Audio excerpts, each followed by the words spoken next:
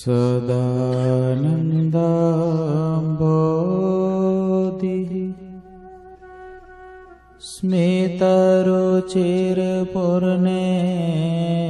स्मितरुचिरपूर्णेन्दुवदन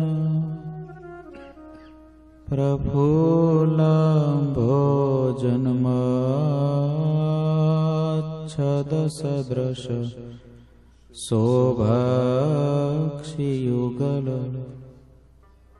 कृपपराव श्रितसकलजेवा सुखदो महाश्रेयो मूर्ति जयति स हि नारायण। वर्णिवेशरमणीयदर्शनम् मन्दहासरुचिरादनाम्बुजम् पूजितं सुरनरोत्तमेर्मुदा धर्मनन्दनमहं विचिन्तये। ॐ अवतारिणे श्रीस्वामिनारायणाय नमो नमः ઓમ શ્રી હરિકૃષ્ણાય નમો નમ. ઓમ શ્રી પૂર્ણ પુરુષોત્તમાય નમો નમ. બોલો શ્રી સ્વામિનારાયણ ભગવાનની શ્રી હરિકૃષ્ણ મહારાજની, શ્રી ઘનશ્યામ મહારાજની જય.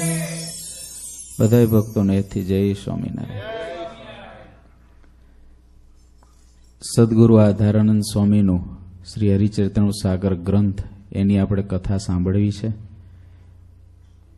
ગઈકાલે સ્વામીએ હરિચરિત્રનું સાગરની કથા દરમિયાન આપણને એવું કીધું, મહારાજના ચરિત્રો દરમિયાનની વાત કરી કે, મહારાજ, બાળપણની અંદર મંદિરે જવાનું વિશેષ પસંદ કરતા.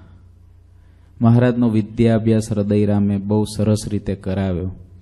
મહારાજ મંદિરે જઈ, જ્યાં રામચંદ્રજીની મૂર્તિ હોય, ત્યાં જઈને એક પગે સ્તુતિ કરતા. એ સ્તુતિ ચાલુ હતી અને તરંગ પૂરું થયું હતું. આગળ આધારાનંદ સ્વામી લખે છે અને મુક્તાનંદ સ્વામી ઉત્તમ રાજાને સંભળાવે છે, પૂર પહેલું તરંગ અડતાલીસ. ફેર સ્તુતિ કહત હે, રહે જો અવશેષ. मनुष्य लीला श्रे हरि जो करत रहत हमेश रामचंद्र की मूर्ति जिहा देखत जाई। विनय कर महिमा कहत अति हितता में देखाई। विनय कर महिमा कहत અતિહિત તામે દેખાઈ. મુક્તાનંદ સ્વામી કે છે, શ્રીહરિ હંમેશા મનુષ્ય લીલા કરતા હોય છે. ઉપર જે સ્તુતિનો ભાગ છે, તે અવશેષ રહી ગયો. ગઈકાલ સ્વામીએ સ્તુતિ વિભાગમાં કીધેલું કે, ઘનશ્યામ મહારાજ, એક પગે ઊભા ઊભા રામચંદ્રજીએ જે જે ભક્તોનું કલ્યાણ કર્યું. એની યાદ કરીને એની સ્તુતિ કરતા હતા. એ સ્તુતિમાં જે અધૂરો ભાગ છે, એ સ્વામી આજે કહે છે. તેને હવે મુક્તમુનિ ફરીથી કહે છે, શ્રીહરિ રામચંદ્ર ભગવાનની મૂર્તિને જ્યાં દેખે, ત્યાં વિનયપૂર્વક તેમના મહિમાને કહેતા અને તેમાં અતિશય હેત દેખાડતા હતા.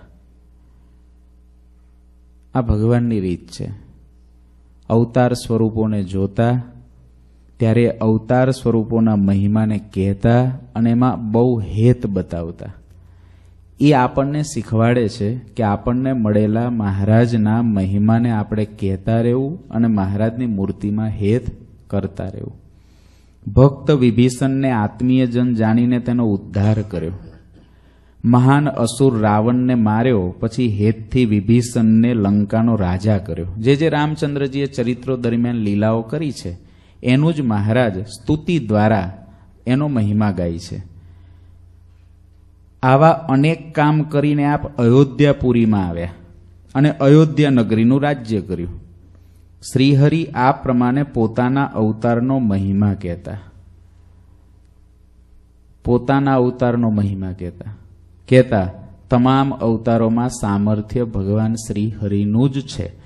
આ જગતમાં જ્યાં જ્યાં જે કોઈ આશ્ચર્ય દેખાય છે, પ્રથમનું સત્યાવીસમું, એ મને મળ્યા એવા મહારાજ એના થકી જ છે. લોયાના તેરમા પ્રમાણે એ પુરુષોત્તમને લઈને તો બ્રહ્મા આદિકને ભગવાન કહેવાય, એ પુરુષોત્તમને લઈને તો રામાનંદ સ્વામી ઉદ્ધવને પણ ભગવાન કહેવાય, એ પુરુષોત્તમને લઈને તો હમણાં મુક્તાનંદ સ્વામીને પણ ભગવાન જેવા કહેવાય. અને એ પુરુષોત્તમને લીધા વિના તો અક્ષર નહીં ભગવાનના કહેવાય. એમ જેની પાસે જ્યારે જે જે ભગવાનપણું દેખાયું છે, જે કાંઈ આશ્ચર્ય દેખાયું છે, જે કાંઈ શક્તિ દેખાય છે, એ બધી મહારાજની છે. એટલે અવતારોનું પણ આપણે પૂજન કરતા હોઈએ છીએ અવતારોના પણ ઉત્સવો કરતા હોઈએ છીએ મહારાજની આજ્ઞા છે. મહારાજ પણ અવતારોને બહુ માનતા. અને એમની સ્તુતિ કરતા, એમનો મહિમા કહેતા, ખ્યાલ એટલો રહેવો જોઈએ કે મને કોણ મળ્યા છે? મહત્વનું એ છે. પતિવ્રતા સ્ત્રીને જેમ પોતાના પતિ સિવાય પોતાના ઘરમાં જેઠ હોય, દિયર હોય, સસરા હોય, બધાની સેવા કરે ને? પતિવ્રતા ક્યારેય એમ નહીં કે કે મારા પતિ સિવાય બીજાને તો હું પીરસું જ નહીં.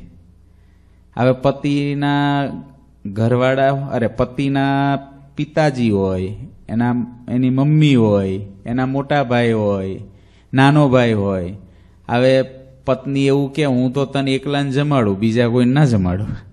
હું તો તારે એકલા માટે રોટલી કરું, બીજા કોઈને ના કરું. તો પતિ રાજી થાય? ન થાય. એમ, ભગવાનના માનીને બધાને પૂજવાના છે. ભગવાનના માનીને બધાયની, બધાનો મહિમા ગઈ શકાય. ભગવાનને લઈને બધાનો મહિમા ગવાય, એને છોડીને કોઈનો ના ગવાય. વસ્તુ એટલી જ સમજવાની છે. એકડો ભૂસીને મીંડા નથી કરવાના, એકડો રાખીને કરવાના છે. રામચંદ્રજીનો મહિમા કહેતા, દિવસના એક પહોર. મહારાજની શ્રદ્ધા જુઓ.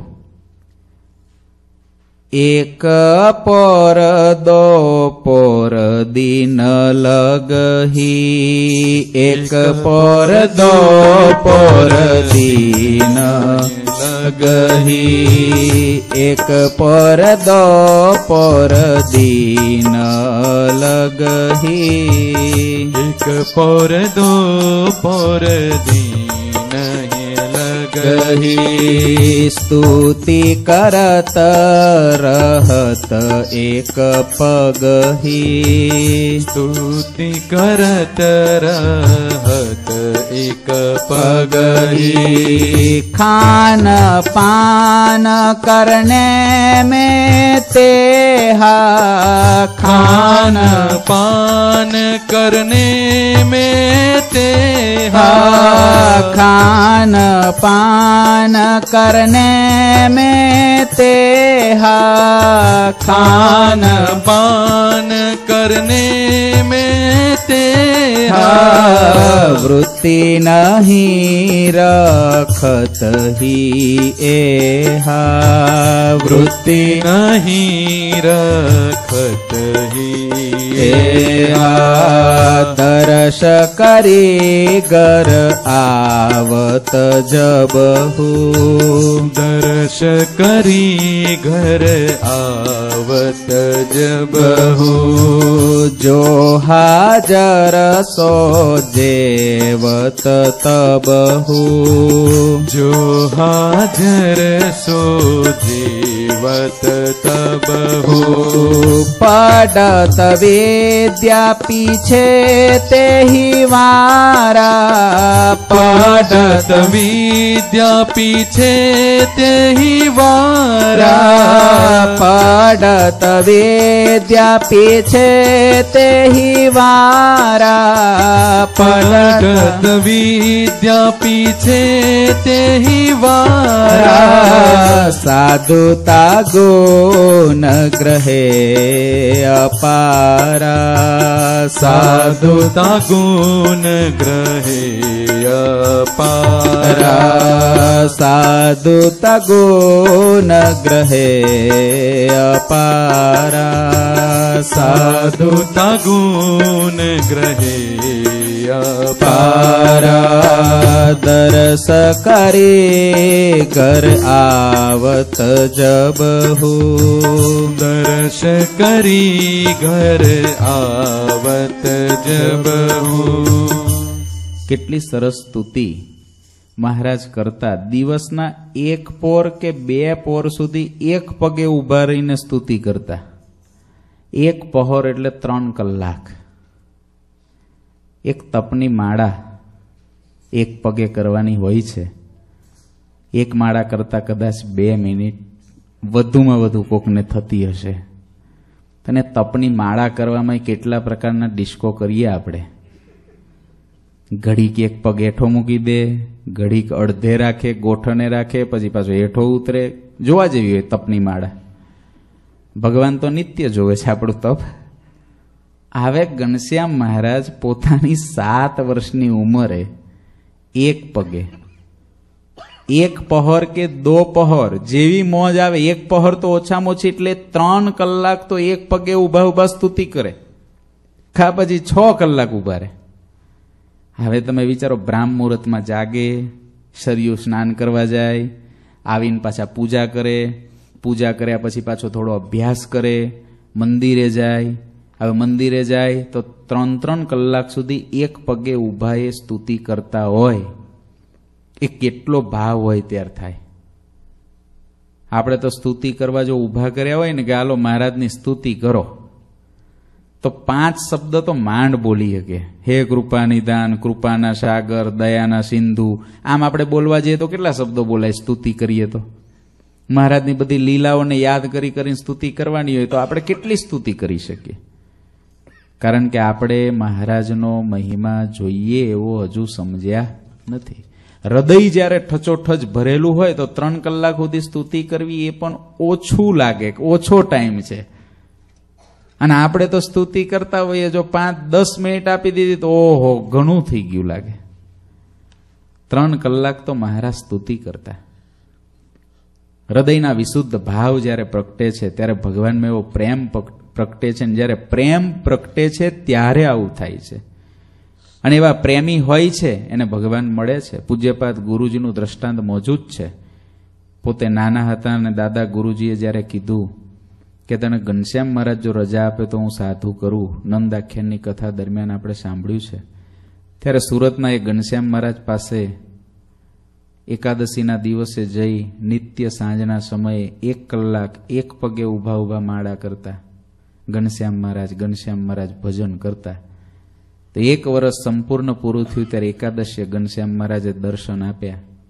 ગાલે ટપલી મારી, સાધુ થવા માટેની રજા આપી. શ્રદ્ધાપૂર્વક કર્યું ને?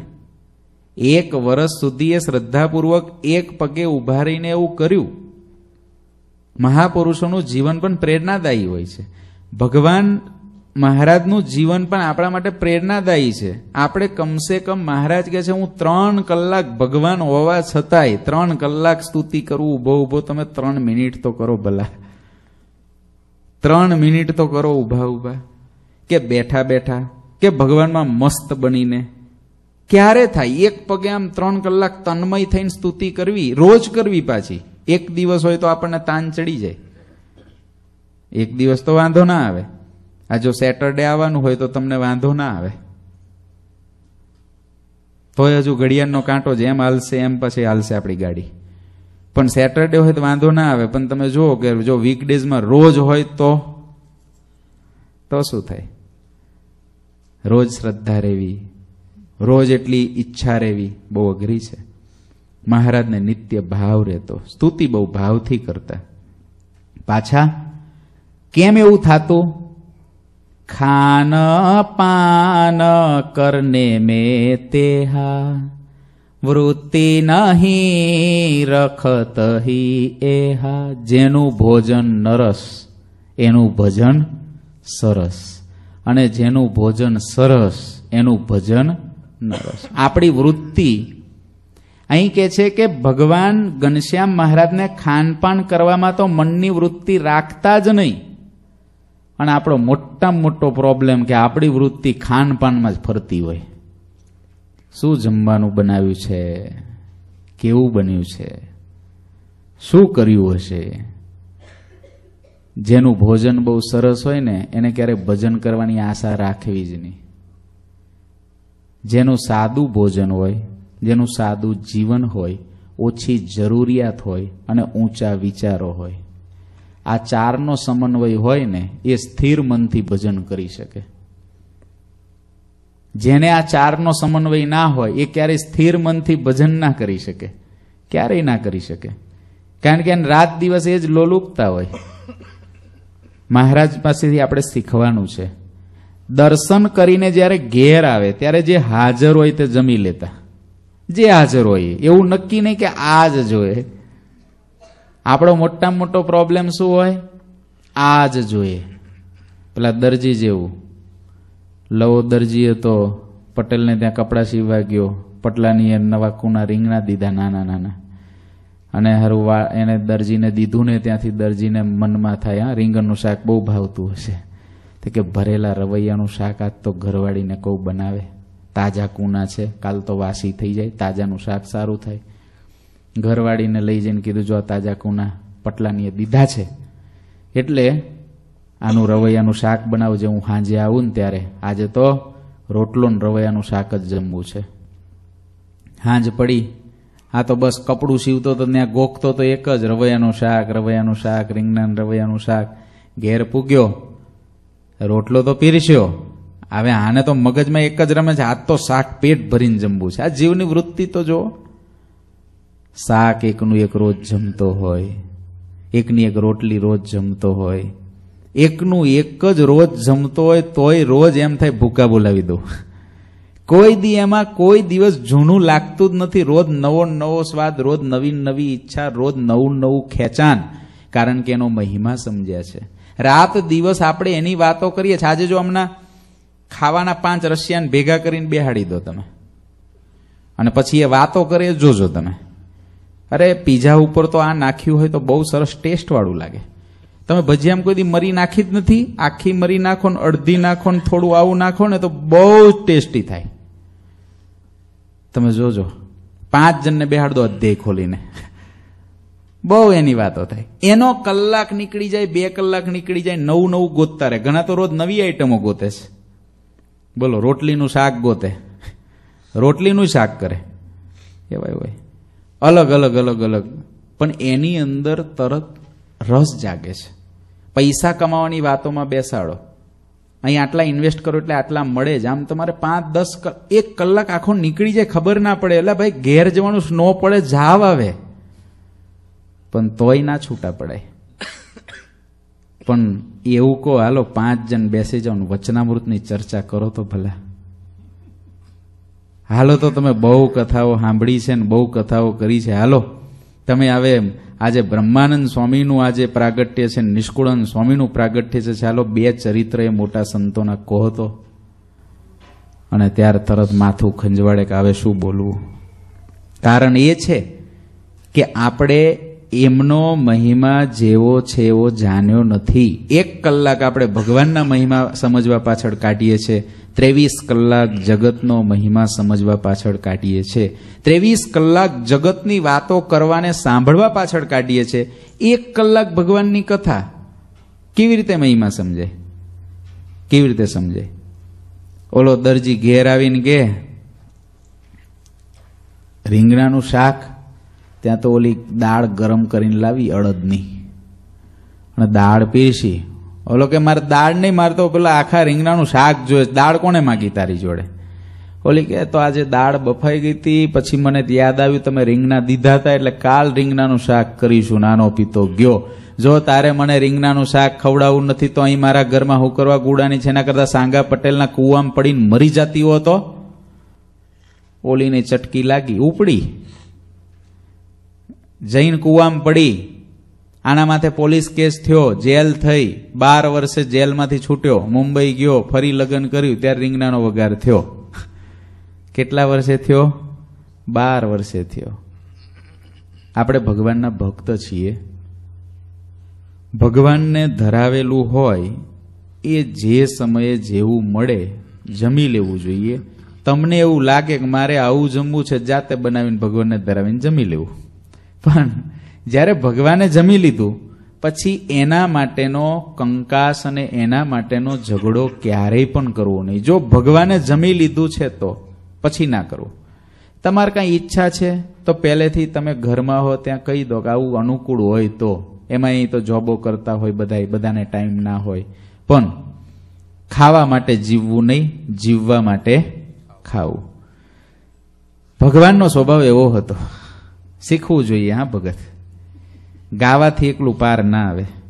દર્શન કરીને જ્યારે ઘેર આવે, ત્યારે જે હાજર હોય તે જમી લેતા. જે હાજર હોય એ જમી લેતા. આમાં ઘણા બધા ભક્તો એવા હશે કે જે હાજર હોય એ જમી લેતા હોય. કોઈ દિવસ બોલતા નહીં હોય કે આમ કેમ આમ કેમ. ખરેખર એ બહુ રૂડા લાગે, બહુ રૂપાળા લાગે, બધાને ગમે. અને એ જ્યાંથી જમવા બેઠો ત્યાંથી જ છનકારો કરે એ કોઈને ના ગમે. એવા કેટલા છો? તે પછી વિદ્યા ભણવા બેસતા. સાધુતાના અપાર ગુણ તેમને સંપાદન કર્યા હતા. આ બધા સાધુતાના ગુણ છે. એ બધા મહારાજે સંપાદન કર્યા હતા. માટે ભગવાનને ધરાવેલું હોય, એવું પ્રસાદીનું પ્રેમથી જમી લેવું. પણ એના માટે બહુ ના કરવું. એની ઉપર આપણે બહુ વાત નથી કરવી. મહારાજના સ્વભાવ આપણે તો શીખવા છે ને જાણવા છે. જ્યારે ધર્મદેવ હરિના ગુણ કે વર્તનને દેખે ત્યારે પૂર્વની ઘટનાને સંભાળતા. ધર્મદેવ જ્યારે ઘનશ્યામ મહારાજનું આવું વર્તન જોવે, કારણ કે ઘનશ્યામ મહારાજનો સ્વભાવ કેવો હતો? મંદિરથી આવે. આવે એટલે ભાભીએ જે ધરાવ્યું હોય થાળમાં, એ થાળમાં જોવે. પછી ઘનશ્યામ મહારાજ એને બધું લઈ લે, થોડું થોડું થોડું પાણી પણ નાખે.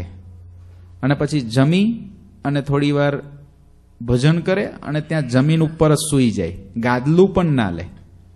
ધર્મદેવ ઘણીક વખત કહેતા કે, ઘનશ્યામ, આટલો બધો વૈરાગ્ય ના હોય. આપણે ઘરમાં રહેવાનું છે. આપણે કંઈ સાધુ નથી થવાનું. આવી રીતે તું ભોય પર ઊંઘી જાય, આટલી નાની ઉંમરે આવું બધું તું બધું ભેગું કરીને જમી લે.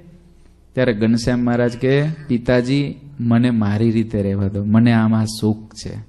ધર્મદેવને જ્યારે ઘનશ્યામ મહારાજ આવું કહેતા, પુત્રના લક્ષણ પારનામાં નાનો હોય ને, ત્યારથી જ ખબર પડે કે આ કેવો થશે? ઘનશ્યામ મહારાજના જ્યારે આવા લક્ષણ જોવે ત્યારે ધર્મદેવને પણ થતું धर्मदेवा जो केहि तेहि। धर्मदेव जोई के तेहि।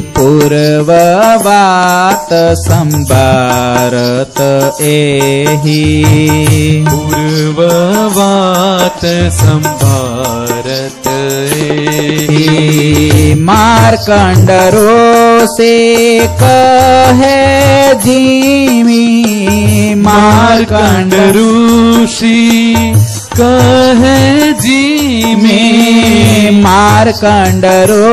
से काहे जी मारकंड ऋषि कहे जी पुत्र में गुण देखत भयती में પુત્ર મેં ગુણ દેખત ભયતી ती में पुत्र में गुण देखत भयती में પુત્ર મેં ગુણ દેખત ભયતી મી જ્યારે ધર્મદેવ શ્રીહરિના ગુણને વર્તનને આવું જોવે ને ત્યારે પૂર્વની ઘટનાને સંભાળતા કે માર્કેન્ડેય ઋષિએ જેવું કહ્યું હતું કે આ તમારા પુત્ર તો ત્યાગ અને વૈરાગ્યવાળા થશે. એવા જ આમાં લક્ષણ છે એમને સાંભળી આવતું, યાદ આવતું. લોકો જે કાંઈ બાબત પૂછે, તરત જ તેનો પ્રત્યુત્તર શ્રીહરિ કરતા.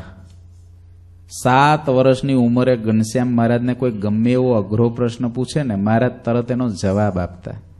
અને કોઈ પ્રકારનો સંદેહ રહેવા દેતા નહીં. એને કોઈ પ્રકારનો સંદેહ ના થાય, એવો જવાબ આપી દેતા. અને એ સાંભળીને બીજા બધાને ઘણું આશ્ચર્ય થતું. ધર્મદેવને પણ કાંઈ પ્રશ્ન થાય તો ઘનશ્યામ મહારાજ એનું તરત સમાધાન કરી નાખે. તો ધર્મદેવને પણ વિચાર આવે કે આટલો છોકરો સાત વર્ષનો, હું આટલા વર્ષોથી છું, મને સમાધાન ના મળે? કારણ કે ધર્મદેવ ઘણી વખત કંઈક પ્રશ્નમાં ગૂંચવાયા હોય તો આમ બેઠા હોય એટલે ઘનશ્યામ મહારાજ પૂછે, પિતાજી, કંઈક ચિંતામાં લાગો છો? કાંઈ નહીં ઘનશ્યામ મારે આવો થોડો શાસ્ત્રનો આ પ્રશ્ન હતો. એમાં શું? આમ કંઈ ચાલુ કરી દે. ધર્મદેવ નહીં થાય કે, વાહ, દીકરો મારો છે હોશિયાર. છોકરો હોશિયાર હોય તો હવ બાપને આનંદ થાય ને. ઘનશ્યામ મહારાજ જેવો દીકરો મળ્યો છે એટલે ધર્મપિતાની છાતી તો ગજ ગજ ખીલે છે. શ્રીહરિ ધર્મ, જ્ઞાન, વૈરાગ્ય અને ભક્તિનો ઉપદેશ લોકોને કરતા. હાથ વર્ષે તો ઉપદેશક. જેના માટે પ્રગટ્યાતા ચાલુ કરી દીધું હતું કામ. કઈ વચનામૃત મહારાજ ગઢપુરમાં આવ્યા પછી બોલ્યા એમ નહીં. સાત વર્ષે તો ધર્મ, જ્ઞાન ભક્તિને વૈરાગ્યનો ઉપદેશ અયોધ્યામાં લોકોને આપવાનો ચાલુ કરી દીધો હતો કદાચ કોઈ જીવ ભગવાન સિવાય બીજી વસ્તુમાં સુખ માનતા હોય, તો એનું મૂળ ઉખડી જાય એવું ખંડન કરતા. મહારાજ જોવે કે આને મારા સિવાય બીજે પ્રીતિ કેટલી છે? એનું મૂળ ઉખડી જાય ને એવી વાત મહારાજ કરતા મહારાજ વાતો કરે, મૂળ ઉખડી જ જાય, ખંડન કરે એનું. હવે જે માણસ ભગવાન સિવાય અન્યમાં સાર બતાવે, એ તો મલિનમાં પણ મલિન કહેવાય. જે વ્યક્તિ ભગવાન સિવાય બીજામાં સાર બતાવે, એ મલિનમાં પણ મલિન કહેવાય, ગંદામાં ગંદો કહેવાય. અને જ્યાં સુધી ભગવાન વિના અન્યમાં સાર જાણે ત્યાં સુધી સંસારનો પાર આવે નહીં. વિચારો, આપણને ભગવાન સિવાય બીજામાં સાર બતાવવાવાળા કેટલા? આપણી ઇન્દ્રિયો, આપણા અંતઃકરણ, આપણું શરીર, આપણી આજુબાજુના લોકો, આપણા દેહના સંબંધીઓ ભગવાન સિવાય બીજામાં માલ બતાવે એ મલિન. કેટલો મલિનપણું હશે, બોલો, વિચારો. કેટલો ગંદવાડો હશે આવો આપણી આજુબાજુમાં અંદર બહાર બધી જગ્યાએ. જ્યાં સુધી ભગવાન સારમાં સાર ના મનાય, ત્યાં સુધી સંસારનો પાર આવતો નથી. મલિન મે મલિન જાન કહાવે મલિન મે મલિન જાન કહાવે હરિવિન ઓર મે સાર બતાવે. હરિવિન ઓર મે સાર બતાવે. હરિવિન ઓર મે જાનત સારા ત્યાં લગ ભવ કોન આવત પારા. હરિવિન ઓર प्यार में जानत सारा त्या लग भव कोन आवत पारा अनंत ग्रंथ में बात अनंता अनंत ग्रंथ में बात अनंता यही सिद्धांत कहत रहंता यही सिद्धांत कहत रहंता यह जाने ना जा लग लगही भव पटकन फिरत त्यां लगही यह जाने ना आए त्या लगही भव भटकन फिरत त्या लगही। भव भटकन फिरत त्या लगही। भव भटकन फिरत त्या लगही। सार में सार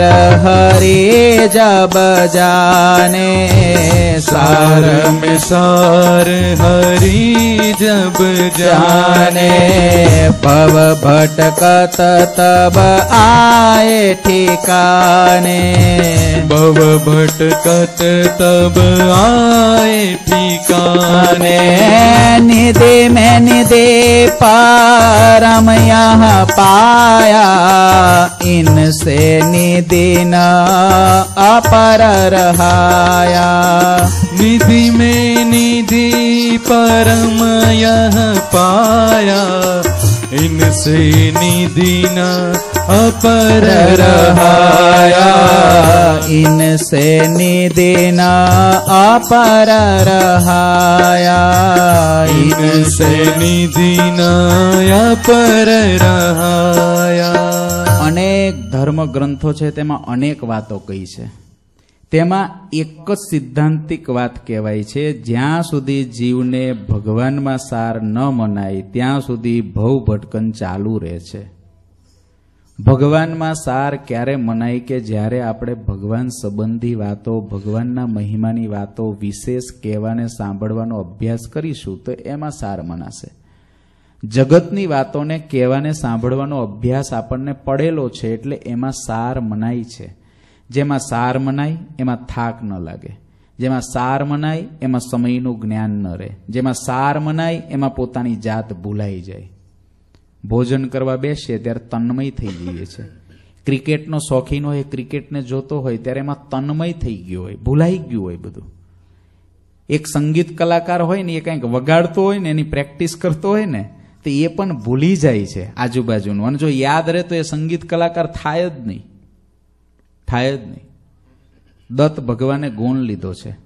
દત્ત ભગવાનને રાજાએ પૂછ્યું છે કે બાન બનાવવા વાળો છે, એમાંથી તમે શું ગુણ લીધો? દત્ત ભગવાને, દત્તાત્રેય ભગવાને બાન બનાવવા બાન બનાવવા વાળામાંથી પણ ગુણ લીધો. તો કીધું, તમે એમાંથી શું ગુણ લીધો? તો કે, ગુણ એ લીધો કે બાન બનાવતો હતો ત્યારે આજુબાજુમાંથી રાજાની સવારી નીકળી, એની પણ એને ખબર નથી. એમાં સાર મનાઈ ગયો છે. જેમાં સાર મનાયો હોય ત્યારે કશું જ ભાન ના રહે. એક બાદશાહ બંદગી કરતો હતો એના અલ્લાહની નમાજ મુસ્લિમોને તો જ્યારે એનો ટાઈમ થાય, તમને ખબર હોય એરપોર્ટ પર પણ પાથરીને બેસી જાય. એની પ્રેયર રૂમો સ્પેશિયલ હોય છે. ગમે ત્યાં રસ્તા વચ્ચે પણ એ લોકો પાથરીને બેસી જાય. એને પોતાના ધર્મની, ભલે શુક્રવારે નમાજ પઢે, પણ એને પાક્કું છે બહુ વ્યવસ્થિત રીતે રિસ્પેક્ટથી એના કુરાનને રાખતા હોય છે. એને પડતા હોય છે. એક બાદશાહ નમાજ પડવા બેઠા, ખુદાની બંદગી કરવા બેઠા. એમાં એક સ્ત્રી કોઈક એક પુરુષમાં આસક્ત થયેલી. સારમાં સાર એને માનેલો કોઈક પુરુષને. એને ક્યાંક મળવા માટેનો કોઈક જગ્યા બતાવી હશે. એને મળવા માટે દોડીને જતી હતી. હવે એના મગજમાં કોણ દેખાતો તો ઓલો પુરુષ? કારણ કે સંપૂર્ણ એમાં આસક્ત હતી. એને એના સિવાય કોઈ પ્રધાન નહોતું. એટલે એના મગજની અંદર એ પુરુષ રમતો હતો ને પુરુષને પ્રધાન રાખીને એ સ્ત્રી દોડતી હતી. બાદશાહ નમાજ પડતો હતો, પણ એ સ્ત્રીને નજરમાં આવી આવ્યો નહીં. એ સ્ત્રીએ બાદશાહ નમાજ પડતો હતો ને એના કપડા ઉપર પગ મૂકીને આગળ દોડવા લાગી. ત્યાં તો સૈનિકો ઊભા હતા, તરત પકડી ઊભી રાખી. પેલો બાદશાહ કે તને ભાન હોવું જોઈએ, હું નમાજ પડવા બેઠો છું. ખુદાની બંદગી કરવા બેઠો છું. અને આવી રીતે તું આમ ઠેલીને જતી રહી હતી ઓલી બાઈ કે, મને ખબર જ નથી તમે બંદગી કરવા બેઠા છો. હું જેની બંદગી કરવા જઈ રહી છું. એક સામાન્ય આ લોકનો પુરુષ છે. એની અંદર મને હેત થયું છે તો મને ખબર નથી કે હું ક્યાં દોડું છું ને ક્યાં જાઉં છું. તમે આવડા મોટા ખુદાની બંદગી કરો છો અને તમને ખબર પડે છે કે તમારા આજુબાજુમાં શું થાય છે? આપણે આવડા મોટા મહારાજ સામે બેઠા છે. પણ ચકલું આવે, છોકરું આવે, ખખડે, કાંઈ પડે, કોઈ આવીને બેસે, બધું જ રેકોર્ડિંગ આપણી પાસે હોય. આપણે સારમાં સાર કેટલા ભગવાનને જાણ્યા છે, એનું સીધું જ દ્રષ્ટાંત કે આપણે અત્યારે જ બેઠા છે. હું કહું, સારમાં સાર વસ્તુ એટલે તમે જેની બાજુથી તમારી દ્રષ્ટિ જઈ ના શકે દૂર. જ્યાંથી તમારું મન ખસી ના શકે. જ્યાંથી આપણી બુદ્ધિ ચલાયમાન ના થઈ જાય. એને આપણે સારમાં સાર જાણ્યા કહેવાય. સારમાં સાર જાને કહેવાય. આપણા ખિસ્સાની અંદર, આ દ્રષ્ટાંત હું ઘણીક વખત આપું છું, આપણા ખિસ્સાની અંદર પાંચ મિલિયન ડોલરનો હીરો હોય અને લઈને મંદિર પહોંચી ગયા હોઈએ. અહીં મંદિરમાં તો કોઈ ચોર નથી, કોઈ લૂંટવાનું નથી, કોઈ લઈ જવાનું નથી. હીરો આટલો જ છે. એ પાછો આપણે અહીં પેલું તમારું ખિસ્સું આવે ને આગળ આમ ચોર ખિસ્સું કેવું ખબર નહીં કયું ખિસ્સું કે, પણ એ ખિસ્સામાં મૂકી દીધો હોય. આમ તમને આમ બરાબર આમ પગ આરે આમ બરાબર અડતો હોય હીરો. એ તમને સાક્ષી પૂરતો હોય કે હું છું જ ક્યાંય નથી ગયો? પણ વારે વારે હાથ ક્યાં જશે? ક્યાં જશે? હીરા ઉપર. વૃત્તિ ક્યાં જશે? હીરા ઉપર. કારણ શું છે? કારણ એક છે. સારમાં સાર મનાયું છે. આજુબાજુમાં કદાચ કંઈક થઈ જશે ને તો પણ ઓલાને સાચવવામાં ને એને જોવામાંથી આપણને ફુરસત જ નહીં મળે. કારણ કે આ અગત્યનું છે. આજુબાજુમાં જે થવું એ થાય. આપણને જ્યારે આ સારમાં સાર મનાશે તો આપણને કેવી રીતે ખબર પડશે કે આમ થયું, આ ખખડ્યું, ઓલું ખખડ્યું? બધું જ આપણને ખબર પડે છે, કારણ કે સારમાં સાર હજુ આપણને મનાઈ ગયું નથી એના કારણે. અને મનાવા માટે જ આ કથા વાર્તા છે.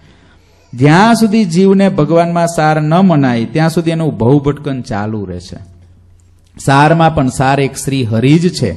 એમ સમજાય ત્યારે ભવભટકન ટાળવાને ઠેકાને આવે.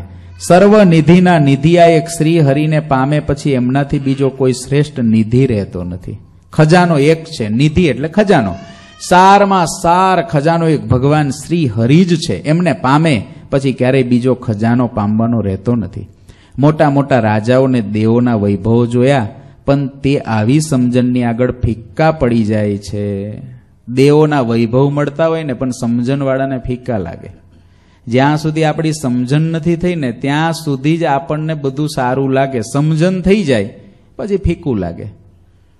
દૂધપાક સરસ મજાનો. શ્રીજી મહારાજનું બહુ જ ફેવરાઇટ ગમતું દ્રષ્ટાંત છે અને સીધું સમજાઈ જાય એવું છે. દૂધપાક ઉકાળીને ફર્સ્ટ ક્લાસ તૈયાર કર્યો હોય, અંદર કાજુ, બદામ, પિસ્તા, જાયફળ, એલચી બધું જ નાખ્યું હોય. એની સુગંધ આમ ચારે તરફ મંદિરના ખૂણે ખૂણામાં પ્રસરી ગઈ હોય. અને આજે દૂધપાકની જ રસોઈ હોય અને માલપુડા દૂધપાક જમવાની બહુ હોંશ હોય, ઠાકોરજી જમીન પછી આપણે જમવાનો હોય, પણ એ દૂધપાકની અંદર સર્પની લાડ પડી ગઈ છે. એ દૂધપાકમાં એક ગરોડીની લાડ પડી ગઈ છે. એવું બસો હરિભગતમાંથી એકે જ જોયું. દોઢસો ને આમ અંદર થતું હતું કે તરત હમણાં મળે તો વાટકા ભરીને જો સંતો પીરસવા આવે તો ના પાડવી જ નથી. અને એ દૂધપાક જો પીરસવા માટે સંતો આવે ને તો પ્રસાદીનો મહિમા સમજી નહીં. ઓલો લેવાઈ ગયો હોય પણ ઓલો કે ભાઈ એમાં તો ઘરોડીની લાડ પડી હતી, ઓહ. શું આવી ગયું? સમજણ આવી ગઈ. કઈ સમજણ આવી ગઈ? આની અંદર સર્પની અને ઘરોડીની લાડ છે. તો એવું વિચારો કે આ જગતના શબ્દ, સ્પર્શ, રૂપ, રસ અને ગંધ આ પાંચ વિષયને આ જીવ ભોગવે છે. એ પાંચ વિષયને ભોગવવાની અંદર એકમાં પણ સાર આજ સુધી નીકળ્યો? આજ સુધી નીકળ્યો છે સાર. પાંચ વિષયને ભોગવ્યા. એક ખાલી ભોજન લઈ લો. સારામાં સારું સંસ્કૃત, સુંદર ભોજન. એને આપણે જમતા હોઈએ, છ કલાક પછી એનું શું થાય છે? રોજ જોઈએ છે. રોજ અનુભવીએ છીએ જાણીએ છીએ કે આનું આ જ થાય છે. છતાંય પણ એ હજુ સમજણમાં બેસતું નથી. સમજણ કેળવવી બહુ અઘરી છે. એ વિચારપૂર્વક કેળવાય છે. વિચાર વિના ક્યારેય કેળવાતી નથી. એની ઉપર સંપૂર્ણ વિચાર જોઈએ. તો સમજણ કેળવાય. અને સમજણ કેળવાય ને, પછી ભોગ બધા એવા લાગે. શાહ કરીને એક ફકીર હતા, રસ્તામાં હૂતા. હતા મસ્તીમાં ફકીર તો એની. તે એક રાજાની સવારી નીકળી. એટલે પેલા સૈનિકો કે બાજુ પર કોણ છે ભાઈ? બાદશાહ આવે છે. હા કે બાદશાહ આવે છે, મારે શું હું સહિંસા છું કે? ઓલો કે ભાઈ, બાદશાહ છે, સવારી લઈને નીકળવાનું છે, બાજુ પર ખસો. ઓલો કે હું સહેનશાહ છું, કહી દે તાર બાદશાહને. ઓલો બાદશાહ કે ભાઈ, કોણ છે આ ધૂળમાં પડ્યો છે? કેમ હટતો નથી? તો કે, રાજા સાહેબ એવું કે છે, હું સહેનશાહ છું. કોઈ ફકીર લાગે છે. રાજા ધાર્મિક હતો, હેઠો ઉતર્યો. એ કે સાંઈ સાહેબ થોડા બાજુ પર હટો ને. અમારે અહીંથી સવારી લઈને જવી છે. તો કે, જો, જવું હોય ત્યાં બાજુ પરથી જતા રહો, કે, તું બાદશાહ છે, તો હું સહેનશાહ છું. હવે આને કેમ પહોંચવું?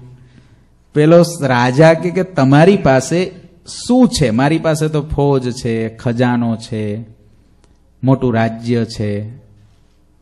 ત્યારે કે, હા, તારી પાસે એ બધું છે ને? હવે સાંભળ, તારે ફોજની જરૂર પડે, કારણ કે તને મરવાની બીક છે. મને મરવાની બીક જ નથી મારો કોઈ દુશ્મન નથી, એટલે મારે ફોજની જરૂર નથી. તારે ખજાનાની જરૂર પડે કારણ કે તારે ભોગ ભોગવવા છે, હારા કપડાં જોઈએ છે, હારું પહેરવા, ખાવા, પીવા જોઈએ છે. મારે એવું કાંઈ નથી. જે ખુદાની બંદગી કરું, જે મળે, લઈ લઉં છું. એટલે મારે ખજાનાની જરૂર નથી. તું માલિક છે, થોડા રાજ્યનો છે, તને સંતોષ નથી. હજુ જીતવા નીકળ્યો છે મારે તો આખી પૃથ્વીનો માલિક હું છું. મને સંતોષ છે. મારે ક્યાંય કોઈને જીતવા જવાની જરૂર નથી. અને તું તારા ડંકા નિશાન લઈને નીકળ્યો હોય તો ભલા આ જોડી ઝંડોના ધૂની તપાવું છે. આ મારું નિશાન છે. અને હું લેર કરું છું. એમ કરીને ધૂળમાં ઊંઘી ગયા. તારે જવું હોય બાજુમાંથી જતો કે હાલ. બોલો. એને કોઈ દેવોનો વૈભવ બાંધી શકે ખરો? આ બ્રહ્માનંદ સ્વામી.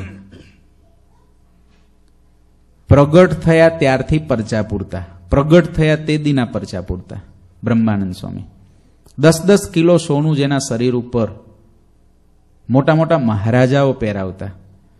સ્વામી જ્યારે ગઢપુરમાં આવ્યા છે ત્યારે કેટલા ઘોડા, કેટલી સંપત્તિ આખું એનું શાસ્ત્રમાં લિસ્ટ લખ્યું છે. કેટલું મોટું લિસ્ટ છે. એટલા તો સેવકો ને એટલા હાથી, ઘોડા, ઊંટ બધું લઈને આવેલા. મોટા મોટા રાજાઓ પોતાના રાજકવિ તરીકે રાખવા માટે પણ સ્વામીને તૈયાર. દેખાવડા પણ એવા, કદાવર પણ એવા સહસ્ત્રાવધાની ને શતાવધાની સો પ્રશ્ન સામેનો વ્યક્તિ એક સાથે પૂછે, બ્રહ્માનંદ સ્વામી સો પ્રશ્નના જવાબ એક સાથે આપે. સામેવાળા વ્યક્તિને એક સાથે સો પ્રશ્ન બોલી જવાના. સ્વામી એના સો પ્રશ્નો બોલ્યા પછી એ સો પ્રશ્નોને યાદ રાખીને ક્રમસર સો એ સોના જવાબ આપે. એક હજાર પ્રશ્ન કોઈ સ્વામીને પૂછે, એક સાથે એક હજાર પ્રશ્ન વાંચી જવાના. સ્વામી એક હજારના વારા ફરતી એને જવાબ આપે. પ્રશ્ન યાદ રાખીને. કેવી પ્રતિભા? એવા મોટા ફકીરી લઈને બેસી જાય સ્વામિનારાયણને ત્યાં. એ જ ભગવાન સ્વામિનારાયણનું સર્વોપરીપણું છે. ક્યાંય ગોતવા જવાનું નહીં. આવા મોટા હતા ને, એ બેસી ગયા. બસ, કોઈને પૂછવા જવાનું નહીં. ભગવાન સ્વામિનારાયણ સર્વોપરી. ખાલી આ પરમહંસોના જીવન આપણે વાંચી લઈએ ને. મહારાજનું જીવન નહીં વાંચવાનું. આ પરમહંસોના જીવન કોઈ વાંચી લે ને, અને પછી ખાલી એટલું જ વિચારે કે આ આવા છે. એ આને ભજે છે. બસ, આ જ મોટું પ્રમાણ. ક્યાંય પ્રમાણ લેવા નહીં જવાનું. એ બ્રહ્માનંદ સ્વામી શું સમજ્યા છે કે દસ કિલો સોનું આમ ઉતારી અને કોથળા વીતાવે તો કોથળા વીટવા તૈયાર થઈ જાય? શું સમજ્યા હશે? એને મહારાજમાં કેવો સાર જાણ્યો હશે? જેને રૂપવંતી કન્યાઓ મળતી હોય. હા, હું ઘણી વખત કહું છું ને કે અડધો ગાંડો હોય ને બે વખત જેલમાં જઈને આવ્યો હોય, એ થવા આવી જાય તો એમાં કઈ નવાય નહીં, એમાં હું લેવાનું? પણ બધી જ રીતે કાબિલ હોય અને છતાંય મહારાજને ત્યાં આવી રીતે બેસી ગયા. અરે ગાયકવાડ સરકારે તો જ્યારે બ્રહ્માનંદ સ્વામીના છંદને એ સાંભળ્યું ને, ત્યારે બ્રહ્માનંદ સ્વામીને ઓફર આપેલી તમે જો સ્વામિનારાયણની દીક્ષા ઉતારીને મારે ત્યાં આવો ને, તો હું તમને રાજકવિ તરીકે સ્થાપના કરું. ત્યારે બ્રહ્માનંદ સ્વામી કે, મેં હું ઢાઢી મહારાજ કો. હાજર હુકમ હજુર. જસ ગાયો ગોવિંદ કોને ધન પાયો ભરપૂર? ગાયકવાડ, તારા ધનની કોઈ કિંમત નથી. હું તો સહજાનંદ રૂપી ધનને પામેલો છું. બ્રહ્માનંદ સ્વામી આવું એને કહી દીધું એની સામે. એ ક્યારે કહી શકે કે સારમાં સાર મહારાજને જાણ્યા ત્યારે? આપણે નથી બ્રહ્માનંદ સ્વામી જેવા. આપણે નથી નિષ્કુળાનંદ સ્વામી જેવા. આપણે નથી દાદા ખાચર જેવા. નથી આપણે પર્વતભાઈ જેવા. હવે તમે વિચારો તો આપણે તો સારામાં સારાને માનવા જ રે આપણે થાવ મચ્છરિયા છીએ. આ લોકોનું સામર્થ્ય ને આ લોકોની જે મોટપ ને આ લોકોને જે મહારાજમાં હેત, એની સામે આપણે તો ઝાકળ છીએ. કાંઈ નથી. કશું જ નથી. આપણું એક ટપકું ના મુકાય. પેલું આપણે આમ પૃથ્વીનો નકશો હોય, આખા પૃથ્વીની અંદર જેવી રીતે તમારે આમ રેરિટન બતાવવું હોય ને રેરિટનમાં લોયા ધામ બતાવવું હોય તો કેમનું દેખાય મને કહો પૃથ્વીમાં? બસ, આપણે એવું છે. જે કાંઈ છે, થોડું કંઈક સારું દેખાય છે ને, એ પાછું આપણું નથી. એ મહારાજનો અને મોટાનો છે. તો પછી સારમાં સાર મહારાજને માનવા જ રહ્યા. એટલે સારમાં સાર મહારાજ છે. સારમાં સાર એક શ્રી હરિ જ છે. એમ જ્યારે સમજાય ત્યારે ભવ ભટકન ટાળવાનો ઠેકાને આવે. સર્વ નિધિના નિધિ પણ એક શ્રીહરિને પામીને પછી એમનાથી બીજો કોઈ શ્રેષ્ઠ નિધિ રહેતો નથી. મોટા મોટા રાજાઓ અને દેવોના વૈભવો જોયા, પણ આવી સમજણ આગળ ફિક્કા પડી જાય છે બધા. મીઠા વિનાના શાકમાં કરોડ ગણો વઘાર કરવામાં આવે, પણ સ્વાદ આવતો નથી. મીઠું જ રહી જાય અને શાકમાં ખરેખરું બધા જ મસાલા નાખ્યા હોય, તો એ કાંઈ મજા આવે નહીં. એમ ભગવાન વિનાના બીજા કરોડો સૂપ પણ મીઠા વિનાના શાક જેવા ફીકા છે. સીધું સમજાય જાય એવું દ્રષ્ટાંત સ્વામીએ દીધું. તેમ જો સમજાય તો તેમાં સ્વાદ આવે ને શ્રીહરિ અતિ પ્યારા લાગે. ભગવાન બહુ પ્યારા લાગે. આ જગતમાં મુખ્યપણે રસ છ પ્રકારના છે. જ્ઞાન દ્રષ્ટિએ જોઈએ તો એક એકમાં અપાર ભેદ દેખાય છે. રસ છ પ્રકારના છે. અને એની અંદર પાછા અપાર ભેદ છે. એક ખાલી તમે ગળપણ જ લો તો ગળપણની અંદર જ મોતિયો લાડુ જમો, ચૂરમાનો લાડુ જમો, મોહનથાળ જમો, મગજ જમો, એકની એક આઈટમ ખાલી અંદર ખાંડ જ મિક્સ થઈને લોટમાં તો એ બધાના સ્વાદ અલગ અલગ આવે. એકના પાછા અનેક સ્વાદો છે. એવી રીતે રસ એ બધાય જેટલા રસો છે, તમામ રસ માત્રનું મૂળ તો એક ભગવાન છે. તેમને જ્યારે પ્રગટ જાનીને ભજે છે, ત્યારે તે ભક્ત અમૂલ્ય ઉત્તમ કહેવાય છે અને સુખ, નારદ અને જનકના સમાન બને છે. જે ભક્તને ભગવાનના સ્વરૂપનું જેટલું જ્ઞાન હોય તેના હૃદયમાં તેટલું સુખ થાય છે. જેટલું ભગવાનનું જ્ઞાન, એટલું આપણા હૃદયમાં સુખ. જીતનો જ્ઞાન હરી કો જાહુ. જીતનો જ્ઞાન હરી કો જાકો કો તિતનો સુખ આવત ઉરતાકુ. જીતનો સુખ આવત ઉરતા કો જગ સુખ કો અભાવ ही जीतनो जग सुख को भाव ही जीतना जग सुख को अभाव ही जीतनो जग सुख को भाव ही जीतना हरि को सुख आवत है तीतनो हरि को सुख સુખ આવત હૈ ચિતનો હરિવિન ઓર પ્રિય જીતના હરિવિન ઓર પ્રિય જીતના કુવાસના જાનના તિતના કુવાસના જાન ितना जितनी कोवा सना वे जितनी कुवा ने सितनो हरि से दूर रखावे। दूरवनो हरि से दूर रखावे। कुवासना जीतनी जे हा कुवासना जीतनी જી હતિતનો અંતરાય હરી મેતે હા. તિતનો અંતરાય હરી મેતે હા.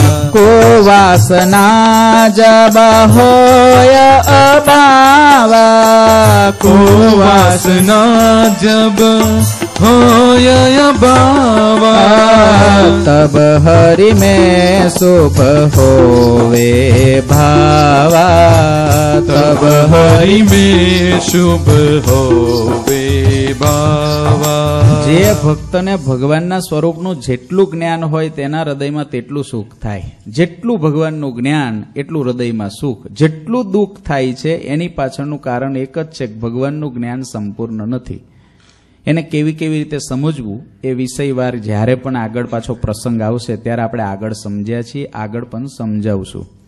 જગતના સુખનો મનમાં જેટલો અભાવ આવે, તેટલું તેને ભગવાનના સ્વરૂપનું સુખ આવે. એક પાત્ર ભરેલું હોય, ખાલી થાય, એટલે બીજી વસ્તુ એમાં ભરાય. જગતનો અભાવ ત્યારે જ થાય જ્યારે ભગવાનમાં ભાવ થાય. ભગવાનમાં ભાવ ત્યારે જ થાય કે જ્યારે જગતમાં અભાવ થાય. બે અન્યોન્ય આશ્રય છે. બે લોટા એક સાથે આપણે રાખવા છે. આપણે કેવું કરવું છે કે જગતની અંદર એ મસ્ત થઈ જવું છે અને ભગવાનમાં પણ મસ્ત. પણ બે એક સાથે થાય એવું નથી. થાય એવું જ નથી. એ શક્ય જ નથી. શેરડી ખાવી છે અને ચનાઈ ચાવવા છે. કેવી રીતે થાય? બેમાંથી એક જ થાય. બેમાંથી એક જ થાય. એટલે જગતનો અભાવ. આગળ કહેશે કેવી રીતે રાખવો?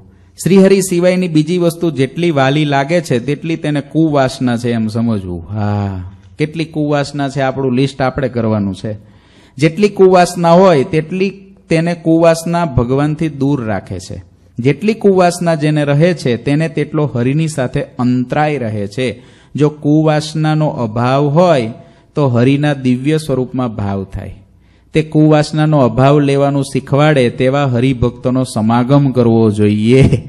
એવા હરિભક્તો ગોતો.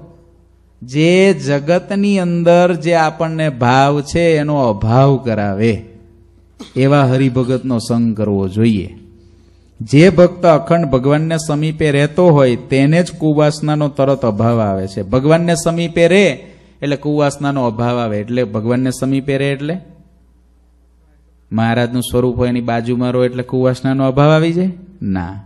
ભગવાનને સમીપે એટલે ભગવાનને વધારે નજીક સંભાળીને કે મહારાજ મારા હૃદયમાં જ છે, એવી રીતે ભગવાનનો સંગ કર્યા કરે એ નજીક રહ્યો કહેવાય. ભગવાનને યાદ કર્યા કરે, સ્મરણ કર્યા કરે એ ભગવાનની નજીક રહ્યો કહેવાય. એવો જે રે, એને જગતનો અભાવ આવે. તમને એક સામાન્ય ખાલી એક પ્રયોગ બતાવું.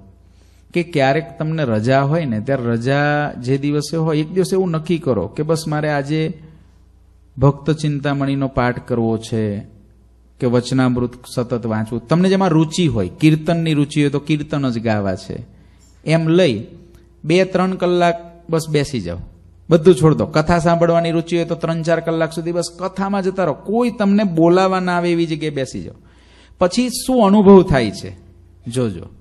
એ ચાર કલાકનો અનુભવ, ત્રણ કલાકનો અનુભવ, એવું જો સતત થાય, તો એ ધીરે ધીરે અભાવ થાય. એક દિવસમાં નથી થતું. પણ વધુમાં વધુ આપણે કથા વાર્તાનો સંગ રાખીએ. નાના નાના પેલા આઈપોડ આવે છે ને, એવા રાખી મૂકો, કાનમાં બસ ફોન હતા તો ફોન જ એવા થઈ ગયા સરસ.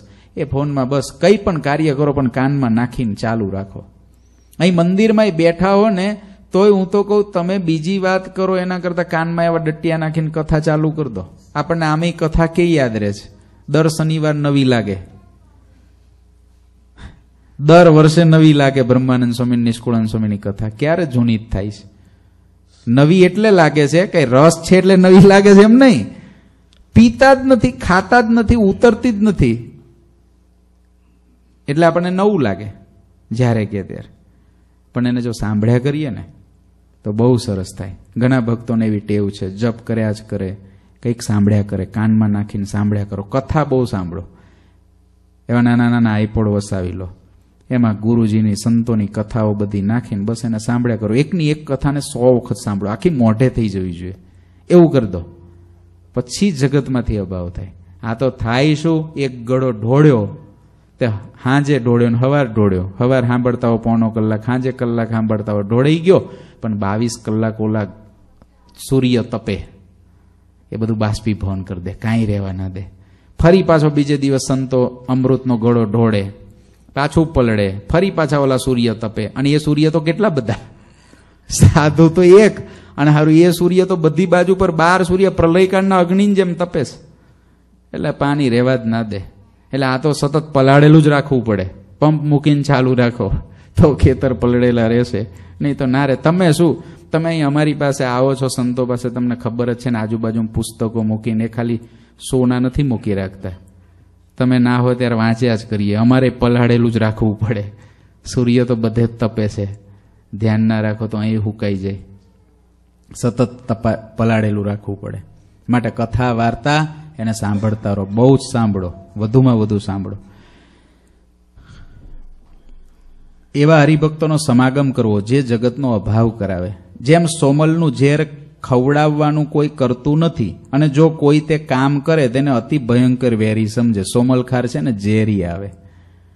ખાય તો મરી જાય. કોઈ આપણને પ્રેમથી ખવડાવે કે ખાવ ને તમે મારા મિત્ર છો, ખાવ ને થોડું તો. થોરિયાનું દૂધ કોઈ પાવા આવે, પીવો ને થોડું. પીવે કોઈ? પીવે? ના પીવે. એને વેરી સમજે. એમ શ્રીહરિથી દૂર કરી દે તેને તેનાથી કરોડો ગુણો વેરી સમજવો જોઈએ. ભગવાનથી દૂર કરે ને કરોડો ગુણા વેરી સમજવા. આંખ દૂર કરે છે, કાન દૂર કરે છે, જીભ દૂર કરે છે, ચામડી દૂર કરે છે, કોણ દૂર કરે છે? આજુબાજુના સંબંધી દૂર કરે છે, મન દૂર કરે છે, બુદ્ધિ દૂર કરે છે, તે બધા આપણા વેરી છે. બધા જ વેરી છે. પતિને પત્ની દૂર કરતા હોય તો એ વેરી છે. પિતાને પુત્ર દૂર કરતો હોય તો એ વેરી છે. પુત્ર પિતાને દૂર કરતો હોય તો એ એનો વેરી છે. એવું આધારાનંદ સ્વામી કહે છે. લો, ભગવાનથી દૂર કરે બધા મહાવેરી કહેવાય. ખરો વેરી જો મનાયો હોય તો સ્વપ્નમાં પણ દેખાય. તો વેરીનો ભય જેમ જાગ્રતમાં રહે છે, એમ સ્વપ્નમાં પણ એનો ભય લાગે. લાગે ને? સ્વપ્નમાં પણ ભાગે. સ્વપ્નમાં સાપ દેખાયો હોય તો કોઈ રમાડવા જાય? સ્વપ્નમાં સિંહ દેખાય તો કોઈ રમાડવા જાય? ઘણાય રાત્રે સ્વપ્નમાં જાગી જાય, પરસેવો વળી જાય. ઘણા થયું હશે. રાત્રે સ્વપ્નમાં જાગી જાય, ઓહ, સિંહ આવી ગયો, ભૂત આવી ગયું, સર્પ આવી ગયો, કાંઈ આવ્યું ન હોય, ભાઈ, તું પથારીમ છો. પણ સ્વપ્નની અંદર પણ ભય એટલો થઈ ગયો છે ને, એટલે સ્વપ્નની અંદર પણ એવું અનુભવાય છે કે, ઓહો, મારું મૃત્યુ આવી ગયું. તે એવી રીતે જેને વેરી માન્યા હોય, ભગવાનમાંથી હેત તોડાવે, એ વેરી છે, એ સ્વપ્નમાં દેખાય તો એ ગમે નહીં. તરત ત્યાંથી ભાગે. ભગવાનના ભક્તોને ઘણીક વખત એવા સ્વપ્ન આવે ને તો સ્વપ્નમાં ભાગ્યા હોય. સ્વપ્નમાં પણ ભાગે. પારકું ધન સ્વપ્નમાં દેખાયું હોય ને તો એ નથી લીધું. એવા આપણા સત્સંગમાં દ્રષ્ટાંતો છે. પારકું ધન સ્વપ્નમાં દેખાયું હોય તોય નથી લીધું. બોલો. પારકું ધન. એને ભય પામેલા હોય કે પારકું લેવાય જ નહીં. પણ જેને ટેવ જ હોય, જ્યાં હોય ત્યાં હાથ મારતો જાય, એને સ્વપ્નમાં દેખાય તો બધું લઈ લે. જેને ટેવ જ હોય કે ગમે ત્યાં હાથ મારી લે, ગમે ત્યાં હાથ ફેરવી દેવો હોય, ચોખ્ખા હાથનો, તો એને કાંઈ ફેર પડે? સ્વપ્નમાં આવે તો બધું લૂંટી લે. માનસી કરવા બેઠો માનસીની અંદર માનસીની અંદર પછી એને ગોલોક ધામની અંદર સોનાની ઈંટો દેખાઈ ત્યાં ખેંચવા માંડ્યો, બોલો. સોનાની ઈંટો ખેંચવા માંડ્યો ત્યાં બેઠો. લેંગો બગડી ગયો અહીંયા આગળ. એવું છે. એટલે જેનો સ્વભાવ એવો હોય, વેરી ના જાણ્યા હોય એને તો આવું ના થાય. પણ ખરા વેરી જાણ્યા હોય તો સ્વપ્નમાં પણ ભૂલાતા નથી. ખરો વેરી જો મનાયો હોય તો સ્વપ્નમાં પણ દેખાય. વેરીનો ભય જાગ્રતમાં જેટલો રહે છે, સ્વપ્નમાં પણ તેટલો જ લાગે. તેમ વિષય જો વેરી મનાય તો તેનો સર્વે અવસ્થામાં ભય રહે. વિષય જો વેરી મનાયા હોય તો. માટે જેટલી કુવાસના રહે છે, તેને તેટલા મહાપાપની જાણવી કુવાસનાના ફળનો વિચાર કરવો, કુબુદ્ધિ માનસ. આવી વાતને હૃદયમાં ઉતારે નહીં. સદબુદ્ધિવાળાને જો આવી વાત કહેવામાં આવે તો તેનાથી તેને પ્રેમ ઉપજે. આપણે બધા સદબુદ્ધિવાળા છીએ, આપણને પ્રેમ ઉપજે જ છે મહારાજની આ વાતમાં. ભગવાન સિવાયની વસ્તુમાંથી પ્રેમ તોડવાની જે વાત તે સદબુદ્ધિવાળાને જ ગમે છે. કુબુદ્ધિવાળાને ગમતી નથી. એને તો જગતમાં હેત કરાવવાની વાતો ગમે. ભગવાન સિવાય ભૌતિક વિષયોને અતિ સુખ જાણે છે અને પંચ વિષયને જ પ્રિય માનીને તેમાં હેત કરે છે. તે મનુષ્ય અતિશય કુબુદ્ધિવાળા છે. જેને હરિમાં પ્રેમ નથી, તે કદાચ કરોડો બ્રહ્માના જેવા બુદ્ધિશાળી હોય, તો પણ તે નરકના અધિકારી છે. આ સત્ય સિદ્ધાંત છે. રંક में रंक देखात व्यवहारिक नहीं बुद्धि कछु। रंक में रंक देखा व्यवहारिक नहीं बुद्धि कछु। रंक में रंक देखात व्यवहारिक नहीं बुद्धि कछु। रंग में रंग देखा व्यवहारिक नहीं बुद्धि कछु।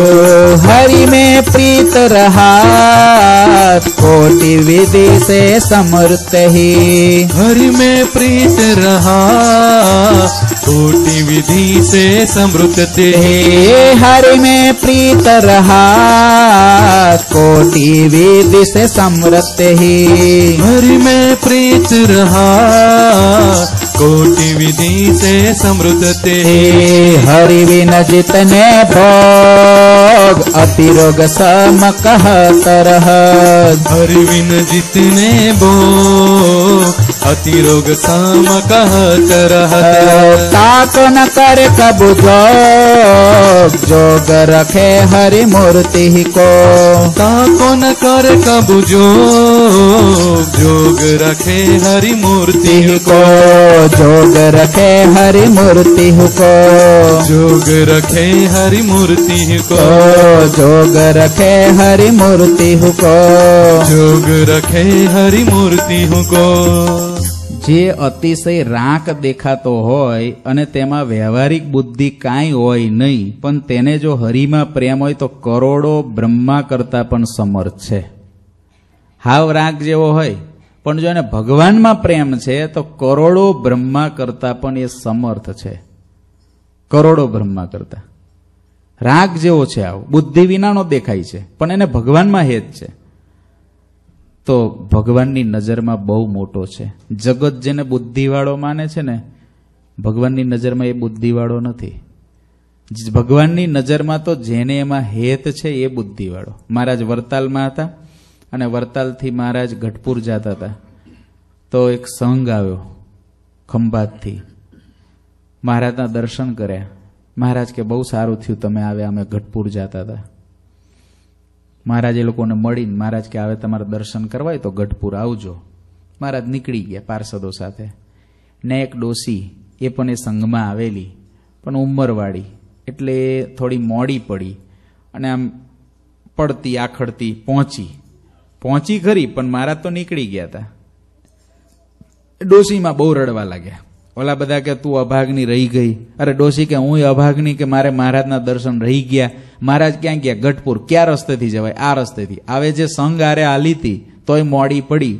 તો એ ડોશીમાં એટલી ઉંમરે મહારાજના ગઢપુરના રસ્તે, ઓ દયાળુ, ઓ કૃપાળુ, હું અભાગની, મારે તમારા દર્શન રહી ગયા. ઊભા રહો. હવે મારા તો ક્યાંય પૂગેલા. એનો અવાજ તો સંભળાય નહીં. ગળીક ખેતરમાં પડે, કાંટા વાગે, કાંકરા વાગે, ઊભી થાય, ગોલટિયું ખાઈ જાય, પાછી ઊભી થાય, ઓ દયાળુ, હે કૃપાળુ, રોતી જાય, બૂમો પાડતી જાય. મહારાજ પેલા પાર્ષદોને કે તમે ઊભા રહો, અમારે પાછું જવું પડશે. કોલ આવ્યો છે. ઓન કોલ રહેતા ને મહારાજ તો. On call. ઘણા ઓન કોલ જોબથી કંટાળી જાય છે. ભગવાન તો ઓન કોલ જ રહે, ચોવીસ કલાક, એની ટાઈમ. ગમે ત્યારે ફોન મારીએ આપણે, બોલો. આપણું કોઈ નક્કી ખરું? ગમે ત્યારે આમ થોડું સંકટ લાગે. હે મહારાજ મહારાજ કે, હા, બોલો ને ભાઈ. માનસીમાં મને થાળ ભરાવાનું ભૂલી જાય જ મહારાજ કે, ઘણી વખત તો મને જમાડવાનું મૂકીને ક્યાંય સ્ટોરો પર ફરવા જતો રહ્યો હોય. અને તું બોલાવે મારે આવવાનું. કેવા દયાળુ? બોલો, આપણે માનસી કરતા હોય. ઘણાએ સ્ટોર લીધો હોય ને કાંઈ ગણતરી કરવાની હોય ને કાંઈ હોય ને તો બધો જ હિસાબ, કિતાબ અને તમારે જે આખા દિવસનું આયોજન એ માનસી પૂજામાં ગણન તો થતું હોય. આખો હિસાબ, કિતાબ એને માનસી પૂજામાં થઈ જાય. બોલો. એ પાંચ, દસ મિનિટ આમ બેઠા હોય, આપણને લાગે બહુ મસ્ત બની ગયા છે. ક્યારેક પાંચ મિનિટ થાય, ક્યારેક સાત મિનિટ થાય, કારણ કે ક્યારેક હિસાબ લાંબો થાય, ક્યારેક ટૂંકો થાય, ક્યારેક આખા આખા દિવસનો આખો સ્કેડ્યુલ ગોઠવવાનો હોય ને સવારની ઘણી વખત તો પૂજાની માનસી પૂજામાં થાય, કે આજે પૂજા પત્યા પછીથી સાંજ સુધીમાં શું કાર્યક્રમ છે, એ સવારની માનસી પૂજામાં. મહારાજને કીધું, એ મહારાજ, તમે સ્નાન કરવા પધારો. પછી મહારાજ વાટ જ જોવે ભગત ક્યારે નવડાવે? ત્યાં તો ભગત તરત પૂજા ખોલીને પૂજા કરીને હંકેલ દે. મહારાજ કે, ભાઈ, હું તો બાથરૂમમાં બેઠો છું હજુ. હવે આવી આપણી ભક્તિ ને આવી માનસી પૂજા ને આવું આપણું ભજન ને આપણું ધ્યાન ને બધું ગ્રીનિશ બુકમાં લખાયું છે. આખું, આપણું તો આખું ચરિત્ર ગ્રીનિશ બુકમાં લખાયું છે. વર્લ્ડના મેન ડોક્યુમેન્ટમાં લખાઈ જાય એવું છે. એવા આપણે છીએ. છતાંય મહારાજને ગમે ત્યારે કોલ કરીએ, હે મહારાજ. અને એ મહારાજ આપણા કાર્યની અંદર આપણી રક્ષાને માટે, આપણી ઈચ્છાને અનુસાર કરવા આવીને ઊભા રહે છે. મહારાજની કેવડી મોટી દયા કહેવાય. બોલો, આવા છીએ અને હાચવે છે. બહુ દયાળુ કહેવાય. નથી લાગતું તને મને જ લાગે છે કે બહુ દયાળુ મારા માટે તો. કદાચ તમે બધા તો તાકાતવાળા શક્તિવાળા હોય એટલે તમને ના લાગે. પણ મને તો એવું લાગે કે ભગવાન બહુ દયાળુ છે. મહારાજ પાછા આવ્યા, ઓલી ડોસીમાને ઊભા કર્યા, મહારાજ ડોસીમાના પગમાં પડ્યા. ડોસીમાં કે મહારાજ તમે, હા, તે બોલાવે એટલે આવે, અમે તો ક્યાંય પૂગ્યા હતા મહારાજે આવીને કીધું, હવે પાછા જાઓ. અને ડોશીમાં ને મહારાજ ત્યાં પગમાં પડે ને મહારાજ પગમાં પડીને પગે લાગે ડોશીમાં કે, મહારાજ, તમે મારા પગમાં? મહારાજ કે, આ તારો પ્રેમ એવો છે ને, એટલે અમે તારા પગમાં પડીએ છીએ. આવા ડોશીમાં કદાચ બુદ્ધિ વિના ના હોય, તો પણ કરોડો બ્રહ્મા કરતા અધિક છે, કારણ કે પુરુષોત્તમ નારાયણ એના પગમાં પડ્યા. કોઈ સામાન્યના પગમાં પડે. કેટલો પ્રેમ હોય ત્યારે પડે. આવો ભક્ત હોય, એ ડોશીમાં અભણ હતા, બુદ્ધિવાળા નહોતા, પરંતુ પુરુષોત્તમ નારાયણની નજરની અંદર બહુ ઊંચા સ્થાને હતા. જગત કદાચ એને અભણ માને, જગત એને બુદ્ધિ વિના ના માને. જગત એવું જાણે કે ગઢપુર મહારાજ ગયા, પાછળ તો કઈ દોડાતું હશે, મૂરખ છે. પણ જગત જેને મૂરખ માને છે, મૂરખ નથી. જગત જેને હોશિયાર જાણે છે, હોશિયાર નથી. મોક્ષના માર્ગના કેલ્ક્યુલેશનો હાવ જુદા છે. હાવ જુદા જ હાવ જુદા. આમાં ભગવાન કોને બુદ્ધિવાળો કે એનું કઈ નક્કી નહીં. હું કથા કરતો હોઉં મહારાજ મને મૂરખ ગણતા હોય. એવું પણ થાય. અને તમે કથા સાંભળતા હો, એક પણ શબ્દ બોલી શકો એવા ન હો, તો પણ તમે કદાચ ભગવાનની નજરમાં હોશિયાર હો. કલ્યાણના માર્ગના કેલ્ક્યુલેશનો બહુ જુદા છે. પોથી ઉપર બેસો ભગવાન તમને જગત હોશિયાર માને, પુરુષોત્તમ નારાયણ ના માને. ના માને. તમે કઈ આયોજનો બહુ સારા કરો, જગત માને તમને હોશિયાર, પુરુષોત્તમ નારાયણ ના માને. કંઈક તમે બહુ મોટું કામ એવું કરી દો, તમને જગત મોટા માને, પુરુષોત્તમ નારાયણ ના માને. એની પાસે તો બહુ એક્યુરેટ અને એક જ હરખા સૂત્રો રહે યુગો યુગાંતરથી એક હરખો જ ન્યાય, કોઈ બદલાવ નહીં. કોઈ કાયદો બદલવો ના પડે. પહેલે દિવસથી જે બનાવ્યો છે એવો ને એવો જ રાખી મૂક્યો છે. માટે ભગવાનમાં બહુ હેત કરવું, બહુ હેત કરવું. એ જ બુદ્ધિ છે સાચી. રાંકમાં રાંક હોય, પણ એ કરોડો બ્રહ્મા કરતા સમર્થ છે. ભગવાનનો પ્રેમી ભક્ત ભગવાન વિના જેટલા ભોગ છે તે મોટા રોગના જેવા છે એમ કહે છે. તે ભોગનો જોગ ક્યારેય ન કરે. જોગ તો એક હરિની મૂર્તિનો જ રાખે. જોગ તો એક ભગવાનની મૂર્તિનો રાખે. બાકી બધાય જેટલા ભોગ છે એનો જોગ ક્યારેય ભગવાનનો ભક્ત ન કરે, કારણ કે અસાધ્ય રોગ જેવા છે. મુક્તાનંદ સ્વામી કહે છે, હે નૃપ, હે રાજન, શ્રીહરિની પાસે જે લોકો આવતા હતા એની આગળ તેઓ આવી જ વાતો કહેતા હતા. આજે મેં તમને વાતો કીધી સ્વામી, કે એવી વાતો મહારાજ ઘનશ્યામ મારા સાત વર્ષની ઉંમરે અયોધ્યાની પ્રજાને કરતા હતા. સદબુદ્ધિવાળા લોકો એ વાતને સવડી સમજતા અને શ્રીહરિની અગાધ બુદ્ધિની પ્રશંસા કરતા. સારી બુદ્ધિવાળા હતા ને, એ ભગવાનની પ્રશંસા કરતા અને એ વાતને હવડી લેતા. પણ કુબુદ્ધિવાળા મનુષ્યના હૃદયમાં આવા અમૃત જેવા વચન ગમતા નહીં. અને વચન ન ગમે તેને સંસારનું ભટકન ટળતું નથી. કુબુદ્ધિવાળા મહારાજની નિંદા કરતા. સુબુદ્ધિવાળા ભગવાનના વખાણ કરતા. એટલે આ જગત બાજુ કાંઈ જોવાનું નહીં. જે સાચું હોય, શાસ્ત્રનું હોય, એવું કહેવું જોઈએ. બાકી જગત તો બે પ્રમાણ કરે. સુબુદ્ધિવાળો હોય તો કે બહુ સારું થયું. કુબુદ્ધિવાળો છે, એ તો ભગવાનને નહોતા માનતા. ભગવાનની વાત પણ એને નહોતી મનાતી. એવું હતું. સંસારનું ભટકન એને ટળતું નથી. કોઈ પણ મનુષ્ય આવે, તે કુબુદ્ધિવાળો દેખાય તો શ્રીહરિ તેની સાથે વાત કરતા જ નહીં. ભગવાન એ ઓળખ શક્તિવાળા ખરા ને, આપણા જેવા નહીં ને. એટલે મહારાજ જાણે કે આ કુબુદ્ધિવાળો છે, વાત જ નહીં કરવાની એને.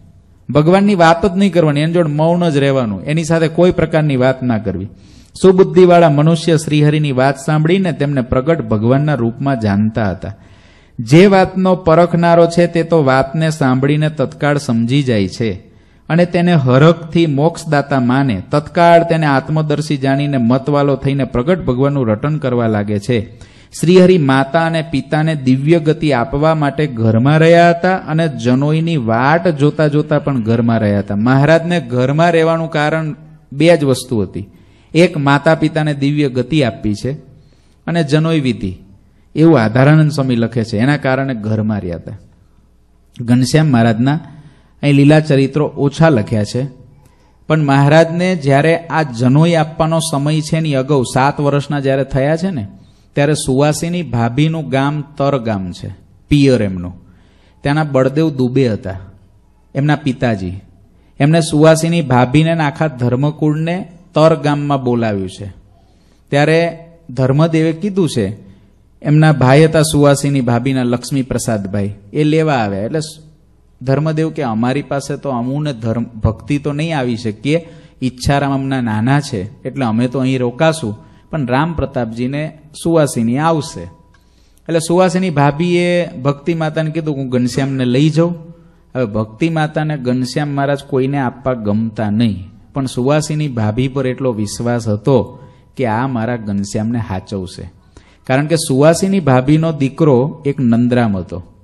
સુવાસીની ભાભી નંદરામને ક્યારેય પણ ઘનશ્યામ કાકાને જમાડ્યા વિના એને જમવાનું ના આપે.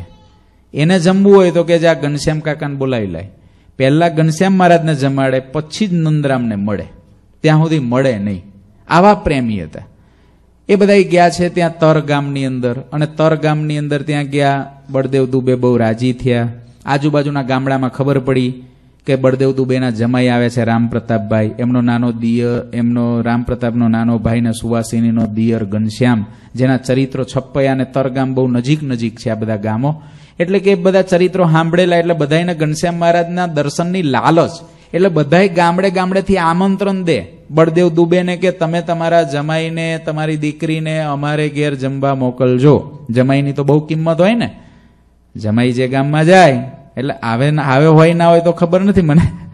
બાકી તો એવું કે ગામડાની અંદર એક ઘરનો જમાઈ હોય, આખા ગામનો જમાઈ કહેવાય. તે આખા ગામની અંદર એને બધાને ઘેર જમ્યા જ કરવાનું. એ ગયો હોય પાંચ દહ દી, એટલે આ ઘેર, ઓલે ઘેર ઓલે ઘેર, બધે બધી સરભરા થતી રહે. એમ રામ પ્રતાપજીને બધા બોલાવે, પણ બધાને લોભ કોનો? ઘનશ્યામ મહારાજનો. એમાં ઘનશ્યામ એક બળરામ દુબે જે હતા, એ દુબેના, બળદેવ દુબેના મિત્ર હતા, મંછારામ મિશ્ર આંબલિયા ગામ, એ પણ બાજુમાં હતું. એ મંછારામ મિશ્રાએ પોતાના બે દીકરાને મોકલ્યા કે અહીં તેડી લાવો. એટલે મહારાજ ત્યાં પણ ગયા હતા ઘનશ્યામ મહારાજ પણ સાથે ગયા રામ પ્રતાપજી મહારાજ સાથે. મહારાજે ત્યાં એ લોકોને, એ બે દીકરાઓને રસ્તામાં અંધારું થઈ ગયું, ત્યારે પોતાના શરીરમાંથી તેજ નીકળતું એવું દર્શન કરાવેલા. એને મંછારામ મિશ્રના દીકરી વલિયારી, એ જ ઈચ્છારામજી મહારાજ સાથે એના લગ્ન નક્કી થયેલા પરનાવાનું નક્કી થયેલું. એ જ્યારે રામ પ્રતાપજી મહારાજ ગયા હોય છે, ત્યારે મંછારામ મિશ્ર પોતાનો પ્રસ્તાવ મૂકે છે. એ આંબલિયા ગામમાંથી પાછા તર ગામ આવ્યા તર ગામની અંદર મહારાજે ઘણી બધી લીલાઓ કરી છે. એમાં એક એમને લીલા એવી કરી છે મહારાજે ત્યાં કે મહારાજ એક હરિદાસ બાવો હતો, તળાવના કાંઠે પર્ણકુટીમાં રહેતો. અને ત્યાં મહારાજ તળાવની અંદર સ્નાન કરવા ગયા, એ હરિદાસ બાવા પર્ણકુટીની બહાર નીકળે છે. મહારાજે એને દિવ્ય સ્વરૂપે દર્શન દીધા, ત્યારે એને કમળ તોડીને કમળની માળા મહારાજને પહેરાવી. એને ભગવાનપણાનો મહારાજે નિશ્ચય કરાવ્યો. પોતાના મિત્રો સાથે ત્યાં રમતા હતા, એમાં એક ગોવાળિયો આવ્યો. ગોવાળિયો આવ્યો એટલે ગોવાળિયાએ આવીને ગાયો એની આરે હતી. એટલે મહારાજ કે આ ગાયો તારી પાછળ જ ફરે? બોલો કે આ અમે ગોવાળ જાતના કે, અમને છોડીને અમારી ગાયો ક્યાંય ના જાય. મહારાજ કે જાય તો? ઓલો કે ના જાય કે, અમને છોડીને ગાયો ક્યાંય જાય જ નહીં. અમે એક આમ આમ એક હોંકારો કરીએ ને એટલે ગાયો અમારી આજુબાજુમાં આવી જાય. મહારાજ કે સારું તું ગાયો લઈને જા આગળ. ગયા ને ઘનશ્યામ મહારાજે પોતાના ઘેરા સાદે ગાયોને બોલાવી.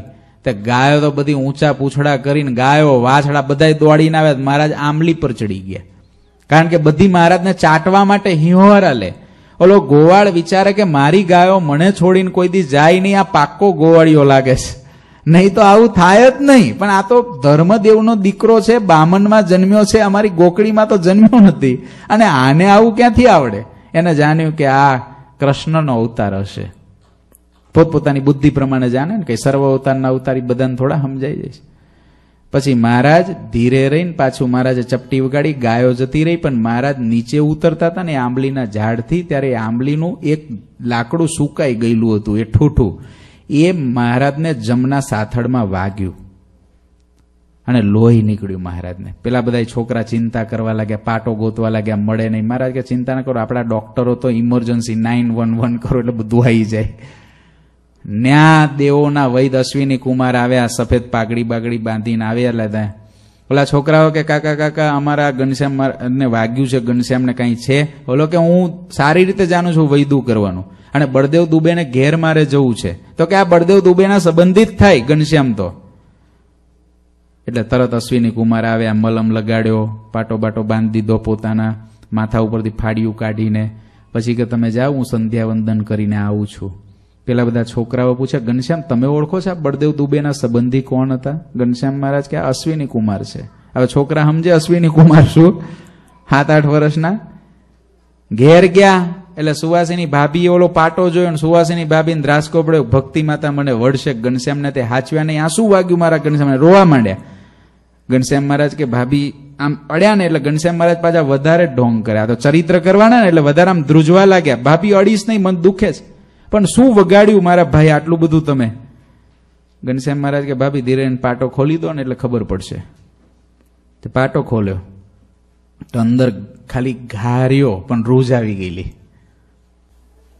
બે મિનિટમાં રૂજ આવે આ તો ભગવાન છે ને ભાઈ? ખાલી ઘા રહી ગયો એ, ખાંપાનું ચિહ્ન રહી ગયું, પણ રૂજ આવી ગઈ. એટલામાં પેલા બધા જે મિત્રો હતા, બધા છપૈયાવાસી જે હારે રમવા આવેલા, એ બધા આવ્યા અને કે કે, ભાભી, આજે તો આવી રીતે આમ વાગ્યું, ઘનશ્યામ ભૈયાને બહુ લોહી નીકળ્યું હતું ને આ બધું થયું. ભાભી, કે ઢોંગ કરે છે, કશું નથી, કે ખાલી મને રડાવવા માટે પાટો બાંધ્યો છે. જો. તો ઓલા સુખનંદન ને બધા વિચારમાં પડી ગયા ખારું ઘનશ્યામને તો કાંઈ નથી, આ શું કર્યું ઘનશ્યામ? ઘનશ્યામ કે, મને કાંઈ થયું જ નથી, તું ખોટું બોલે છે એ ખાંપાનું ચિહ્ન મહારાજે ત્યાં તર ગામની અંદર બળદેવ દુબે કે અમારી વાડીમાં ફનસ ને કેળા ને બધું બહુ સરસ છે. એટલે આપણે ત્યાં આગળ અમારી વાડીમાં ઉત્સવ. રામ પ્રતાપજી કે અમારે અયોધ્યા જવું છે હવે. તો કે નહીં, તમે ઉત્સવ કરીને જાઓ. તે વાડીમાં જઈને ઘનશ્યામ મહારાજ ધીરે રહીને છટકી ગયા. બળદેવ દુબેના ચીબડાના ખેતર હતા. તે ચીબડાના ખેતરની અંદર પેલા મજૂરો ઘાસ નીંદતા હતા. ત્યાં ભાઈ કે, કાકા, હું કરવા લાગુ તમને? હા, કરો ને કે. તે બધા ચીબડાના વેલા કાઢી નાખ્યા. આખા ખેતરના ઓલા બધા નોકરો કેલા, ઘનશ્યામ આ ઘાસ કાઢવાનું ચીબડાના વેલા નહીં. ઘનશ્યામ કે ચીબડાના વેલા બહુ વધી ગયા છે, એટલે એને કાઢ નાખો, એટલે ઘાસ માટે જગ્યા થઈ જાય કે. એક નોકર દોડતો દોડતો આ બધા રામ પ્રતાપજી બધા ફણસ ને કેળા ખાવા મશગુલ થઈ ગયા બધા ભૂલી ગયા ઘનશ્યામને લઈને આવ્યા છે, ગયો ક્યાં? પેલો નોકર આવ્યો ને કે ઘનશ્યામ આવું કરે છે. રામ પ્રતાપજી તો આમે શેષનો અવતાર લાલ આંખ કરી આવીને પેલા તો ઘનશ્યામ બે આપી દીધી. એસા ક્યું કરતા હે કે આ ચીબડાના વેલા ઉખાડવા લાયા છે તમને અહીં આગળ અને ઘનશ્યામ મહારાજ હું કરીને રડવા લાગ્યા સુવાસીની ભાભીને બધા દોડતા આવ્યા સુવાસીની ભાભીએ તેડી લીધા. બળદેવ દુબે કે શું થયું? આટલા બધા કેમ ગુસ્સે થાવ છો જમાઈરાજ તો કે આ ઘનશ્યામ અમારી ભેગા લાવ્યા છે અને અમારું નામ ખરાબ કરે, બધા ચીબડાના વેલા ઉખાડી નાખ્યા. આ આ નોકર ચાકર કે છે? બળદેવ દુબે કે હવે વેલા ઉખાડી નાખ્યા કાંઈ નહીં, અમારે તો ધર્મદેવને જવાબ આપવાનો. તમે એને મારશો નહીં કે? વેલા ઉખડ્યા તો મને કેવું જોઈએ? બળદેવ દુબે ઓલા નોકરને ખીજાયા. મને કેવું જોઈએ તારે? આમને શા માટે કીધું? બોલો, ચાકર ઘનશ્યામ ભૈયા પછી કે, ધીરે રહીને ભાભી કે, ઘનશ્યામ, તમે આવું કેમ કરો છો? આવું કેમ કર્યું? આવું થાય? ત્યારે ઘનશ્યામ મહારાજ કે, ભાભી, આ મારા ભાઈ છે ને બહુ ક્રોધી છે. જ્યારે હોય ત્યારે મારે મારી દે છે. બીજું, આ નોકર હાવ ખોટું બોલે છે. મેં તો કઈ ચીભડા વેલા નથી ઉખાડ્યા. હું તો ઉપરથી એને મદદ કરું જ ઘાસ કાઢવામાં. ચાલો હું બતાવું કે અત્યારે. રડતા રડતા પાછા આગળ હાલે. પાછા ધીરે ધીરે હસતા જાય. ઘણા ખેલ કરતા છોકરા જોવા જેવા હોય તમારે. રડતા હોય, હાવ ખોટું રડતા હોય. એક કે આંસુડું પડતું ના હોય. ઘણા છોકરા એટલું સરસ શીખેલા હોય છે. એક પણ આંસુડું પડતા ના હોય. ઊ ખાલી કરે. એવા ઘણા નંગઈ છે આપણી જોડે. હું જોતો હોઉં ઉપર. આવે ને લઈને તો હું જોઉં કે આમાં એક આંસુ પડતું નથી અને બસ એને ટેવ પડી ગઈ હોય. રમાડવાની. બાપને ચકડીએ ચડાવે. ઘનશ્યામ મહારાજ રોતા જાય. આંસુ તો હાચા પાડતા હતા મહારાજ તો. પાછા હસતા પણ જાય. અને ખેતર આગળ ફૂગ્યા ને, તે ખેતર આગળ જઈને કે, જો ભાભી, આની અંદર એક પણ વેલો ઉખડેલો છે કે ચીબડાનો? હારું ગજબનું ઘાસ ઘાસ નીકળી ગયેલું ને ચીબડાના વેલા બધા જોઈન્ટ થઈ ગયેલા. સુવાસીની ભાભી કે, હવે મારે એક દિવસ અહીં રહેવું નથી. રામ પ્રતાપજી જોડે ખીજાયા. પછી એમનું ચાલુ થઈ ગયું ચકમક. આ ઘનશ્યામ ભૈયાને તમે જ્યારે હોય ત્યારે આવી રીતે જેમ તેમ કહી દો છો ને જેમ તેમ મારે અહીં રહેવું જ નથી. મારે અયોધ્યા એટલે ભક્તિ માતાની ભેગા હોય તો મારે ચિંતા નહીં. આની ઉપર આમને આમ ખીજાયા કરો છો? તે ઘનશ્યામ મહારાજ કે, ભાભી, ઉતાવળ ના કરશો જો મારે થોડી લીલાઓ બાકી પછી જશું બેથી પછી. પણ એવી રીતે પક્ષ લેતા અને તર ગામથી પાછા અયોધ્યા આવેલા એ વચ્ચે અહીં લીલા એવી થયેલી છે. ત્યાર પછી પાછા મહારાજ આવે, હજુ એક વખત તર ગામ જશે અને પછી મહારાજનું યજ્ઞોપવિત વિધિ થશે. પણ આવું મહારાજ ચરિત્રો પણ કરતા. કમળ પાણીમાં જ રહે છે, છતાં પાણીનો લેસ પણ કમળને ક્યારેય અડતો નથી. કમળ પાણીમાં રહે, પણ પાણીનો લેસ ક્યારેય એને અડતો નથી. એમ શ્રીહરિ ઘરમાં રહ્યા હતા, પણ કોઈ સંબંધીઓમાં લેસ માત્ર ક્યાંય હેત રાખતા નહીં. ઘરમાં જ હતા, પણ ભગવાન શ્રીહરિ કોઈનામાં હેત રાખતા નહીં. એટલે ઘરમાં રહો, પણ હેત રાખશો નહીં. ના, હેત રાખો, પણ કેવું હેત રાખો? આ બધાય ભગવાનના ભક્તો છે. અમે બધાય અક્ષરધામના મુસાફરો છે. આવું હેત રાખો. પુત્રપનાનું, પત્નીનું, પતિનું, એવું બધું હેત ભૂલો અને અમને મહારાજે આ લોકમાં આવી રીતે ભેગા રાખ્યા છે. કોઈને પાત્ર પિતાનું, કોઈને પત્નીનું, કોઈને પુત્રીનું, કોઈને પુત્રનું, કોઈને સાસુનું, કોઈને સસરાનું, આવા પાત્રો મહારાજે દીધા છે. રોલ ભજવવાનો છે. મુખ્ય તો એ છે કે અમે બધાય મુક્તાત્માઓ છે અને અમારે અક્ષરધામને પામવાનું છે. આવી રીતે હેત રાખો. એ દિવ્ય હેત છે. એ બંધન નહીં કરે. ગુરુજીએ આધ્યાત્મ પાથઈની બીજી વાતની અંદર આ વાતને બહુ સારી રીતે સમજાવેલી છે. એને સાંભળી લેજો કે કેવી રીતે હેત રાખવું. પણ ઘનશ્યામ મહારાજને તો સંસાર છોડવાનો છે, એટલે એમને તો બરાબર છે. જેને સંસાર છોડવાનો હોય, એને તો એવી રીતે જ રાખવું પડે. એને કોઈ નહીં, કોઈ દિવ્ય હેતે નહીં માઈ કે નહીં, બધા ખોટા. એને છોડવું હોય એને એમ જ કરવું પડે, તો જ છૂટે. નહીં તો ના છૂટે. પાછું ત્યાં બંધાઈ રહેવાય. એવી રીતે નિર્બંધ રહ્યા. સૌની સાથે હળી મળીને રહેતા. પાછો જો, બધા જોડે હેત નહોતું, પણ પાછા રહેતા હતા કેવી રીતે? હળી મળીને છતાં પોતાના દિલને પોતાના હાથમાં ને કબજામાં રાખ્યું હતું. પણ પોતાનું દિલ એ પોતાના હાથમાં ઉપર ઉપરથી કેમ? મજામાં? આમ તેમ ચરિત્રો કરે ભાભીને ઘડીક રડાવે, ભાઈને થોડું આમ કરાવે ધર્મ પિતાને ભક્તિ માતાને આનંદ કરાવે, પણ મગજમાં એક જ આલે છે. ધર્મ દેવને ભક્તિ માતા દિવ્ય ગતિને પામે એટલે સંસારને છોડીને નીકળવું છે. આ એક જ લગ્ની છે. હૃદયમાં આ ગૂઢ રહસ્ય સતત ચાલુ છે. આ સંસાર છે, એને છોડવો જ છે. આ ગમે એટલા પ્રિય ભાઈ, ભાભી બધાય મારામાં હેતવાળા છે, પણ હું એને કંઈ એને એકલાને હેત આપવા પ્રગટ નથી થયો. મારે તો અનંતનું કલ્યાણ કરવાનું છે. આ હૃદયમાં વિચાર ગૂઢ રીતે રાખી મૂક્યો છે. ઉપરથી હળી મળીને રહે છે. આ બધો રોલ. તમારે સંસાર છોડવો હોય તો આવું કરવું પડે. આવી રીતે કરો તો જ છૂટે. નહીં તો કોઈ દી છૂટે નહીં. કોઈ દી છૂટે નહીં. રોલ કરવો પડે. બહુ હેત બતાવવું પડે. બહુ હેત છે. સરસ મજાનો પેન્ટ માગવો પડે. જીન્સનો પેન્ટ ને હારા હારા કપડાં માગવાના હોય પછી અચાનક છૂટવાનું હોય તો છૂટે. નહીં તો ના છૂટે. ઓલાને ખબર જ પડી જાય કે આ છોડવાનો છે એટલે પહેલેથી જ કરવત લે. ગુણાતીતાનંદ સ્વામી કે બાપના હૈયામાં સ્ત્રી તે છોકરાને સ્ત્રી દે. સાધુના હૈયામાં ભગવાન તે ભગવાન જ દે. બાળપણથી જ ગ્રહસ્થને તો બાળપણથી જ. મોટો થાય ને એટલે સરસ છોકરી તારે પરણાવી છે. ફલાના ગામની અંદર તને તો આ જ ગામમાં તારું લગ્ન કરાવવું છે. આવી વાતો તો આઠ દહ વર્ષના હોય ત્યાંથી કાનમાં નાખી દે. બોલો. અને જો ખબર પડે કે જવાનો તો તો વધારે નાખે. એટલે ધન્યવાદ છે સંસારને, હા. સંસારીને ધન્યવાદ છે. એવી વાતો કર્યા જ કરે. સારું ગજબનું કહેવાય. સંસારની અંદર હોય ને, પંદર અઢાર વર્ષનો થાય ને ત્યારથી જ વાતો ચાલુ કરી દે. તારી માટે તો આ જ ગામમાં આપણે ત્યાંની જ દીકરી લાવવી છે.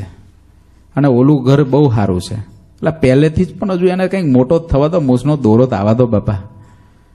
એને થોડો ચાન્સ તો આપો કે ભાઈ, અમે તો ફસાઈ ગયા છે, પણ તું જવું હોય તો જા. આ રસ્તો બહુ સારો છે.